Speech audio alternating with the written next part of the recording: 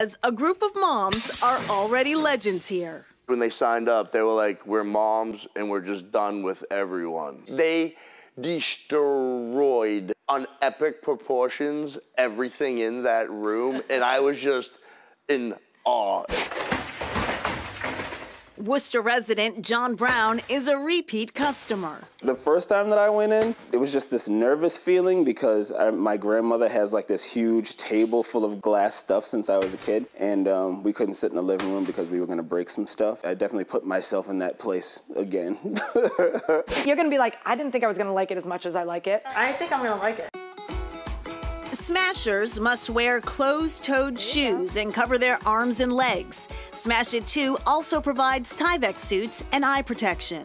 I feel like I'm gonna have a little too much fun doing this. And we put on glove liners and cut-resistant gloves. Take your thunder stick, just smash down right on that table until you don't feel like smashing anymore. Just wanna smash. Don't forget about this one. I can do the TV. You can break a TV here. Ah!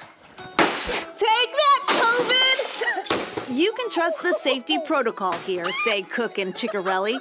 Just ask them about their other business as consultants for OSHA, the Occupational Safety and Health Administration. Here's the deal. We own a safety and Yeah. regulatory compliance company. We go to businesses for the last 20 years. I walk through the door and be like, that's a risk. Don't do that. Get off the ladder. You're gonna get hurt. Put on your safety- Put on your yeah, safety right. glasses. Where's your protection? How about your gloves? That's what we do for a living. Right. So this is like a giant spoof on our very strict, regulated, heavily enforced world that we live in every single day. Smashing, however, is not always fun and games. One customer came here for an emotional release during her cancer treatment. But for that woman, for that moment in time, it meant something completely different, something that we couldn't have created. Courtney Young is that person. I was re-diagnosed with triple negative breast cancer in August. But just knowing that this place is here and that we can kind of come do that, even if we can't plan our frustrations, is, is really helpful. There's not really much you can do with the energy that you have except for deplete it. Not on humans, but just, you know, TVs, toilets, cars, whatever. The opportunity to smash a pink toilet. Why not? Perhaps the end is the best part of the smash session. You could go crazy in your own kitchen and smash everything in there, but there's repercussions to that. Because at the end of the day, we do all the cleanup. It was something else. So, how long does the smash session last? It depends. Anywhere from 15 minutes to an hour. And if you're wondering what happens to all the wreck stuff, well, Darcy and Joe say they have a team that drops off household junk to smash and then picks up everything to be recycled afterward. They also take donations on designated drop off days. Coming up, escaping into nature and art. You're discovering things about the world around you, and it has an overall effect of calming your mind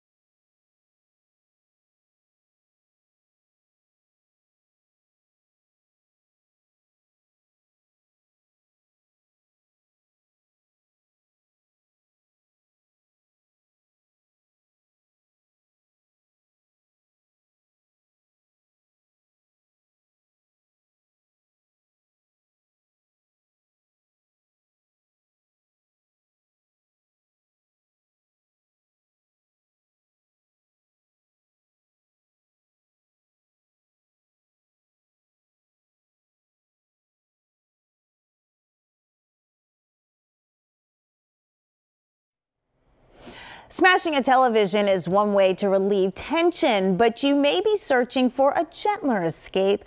Some art, perhaps, or in nature, or maybe a combination of the two. Ted Reinstein has more. One way to calm the mind, discover your inner artiste. These impressive drawings and paintings are the work of students. I was never the art kid. I don't have a ton of natural ability. I went to school for engineering and math. Julie Beck was painting and drawing on her own time while working as a graphic designer. In 2010, she enrolled at the Academy of Realist Art in Boston. I'm really liking the line quality of what's happening up here. Today, Beck is not only a professional artist, she's the Academy's assistant director. It was really refreshing for me to walk in and have people tell me, we can teach you to do what you want to do. And it doesn't matter if you have a background or if it doesn't matter if you have previous training or a degree in art. Everybody starts from the ground up. Realist or representational art often attracts less attention in today's contemporary art focused world. Representational art is simply art that has somewhat of a recognizable reality to it. Instructors at the Academy of Realist Art teach students the technical fundamentals of drawing and painting through observation.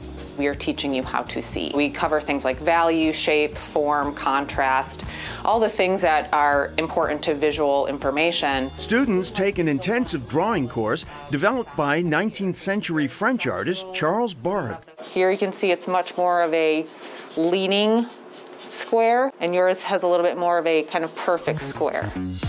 There's a bit too much of a right angle feel to your jawline here. Online classes allow the Academy to grow beyond its presence in Boston's Leather District, even welcoming international students. They train at every level, including complete beginner. They're never required to keep up with other people. Um, and we want people to really slow down and internalize and understand the information. When they do, the experience can be transformative, says Beck. So it really becomes a more meditative process where the entire world kind of falls away and you're singularly there with yourself and your thoughts. Some studios are outdoors. A new class at the Umbrella Art Center in Concord could inspire the next Ralph Waldo Emerson. Who knows? It's been really a salvation in a way to have something to go out and focus on and to relax with. The recently renovated Art Center offers an arts and environment program that includes nature journaling. Instructor Patty Braden is a longtime birdwatcher and outdoorswoman. The journaling aspect came in when I wanted to reinvigorate this thing that I have loved, which is birding. I want to welcome everybody here today to the intro to nature journaling. Nature journaling is simple, says Braden. Requirements are a notebook, basic art materials, and motivation. Go out into nature, city park, your backyard, your local trails. Open your senses up and then start writing down what you're experiencing.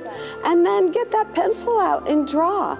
And no judgment because it's your journal. It's the fact that you're drawing to learn, not learning to draw. Braden's classes are online, but occasionally meet in person. I like using a ringed binder like this. Over time, says Braden, nature journals become rich with personal reflections as well as climate and plant related information. You focus more, you see things that you never saw before. You're discovering things about the world around you, and it has an overall effect of calming your mind. As Frost said, way leads on to way, and it is really true with nature journaling. No matter the weather. The Academy of Realist Art has two other locations in Canada where the school was first launched. As for the Umbrella Art Center in Concord, they are returning to in-person art classes for the fall. Last year, they completed a massive multi-million dollar makeover complete with a state-of-the-art performance hall. The Umbrella Stage Company will begin welcoming audiences back with live performances in September. Up next, escape the electronics and stretch your legs.